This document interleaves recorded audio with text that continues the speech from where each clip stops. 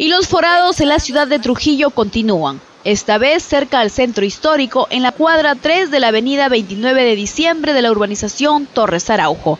Un pesado camión originó el hundimiento de esta parte de la pista. Sí, en la madrugada.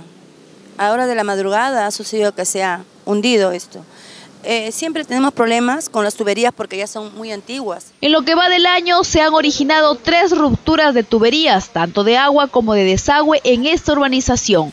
Y un aniego también se produjo en la avenida 28 de julio, cuadra 4. Personal de Sedalip trataba de solucionar el problema. Todas las veces, ya sea lluvia, ya sea rotura de, de agua, toditita el agua viene para este lado. Se rompe, eso sí es. Siempre Hoy las pistas ahora sí pues este, van a quedar como si hubiera pasado el huaico acá. Toda la vida, toda la vida.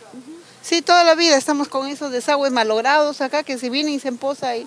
Para nosotros una pestilencia, eso se apesta, de ahí nos da hasta enfermedades, moscas. Hemos estado inundados, empezó primero con un pequeño caudal y ahorita ya se llenó todo, parece que en la esquina han querido cortar o empatar el agua y se les ha salido de la mano. Los moradores de esta zona están cansados, ya no saben a dónde acudir para evitar que esto se convierta en parte de su rutina.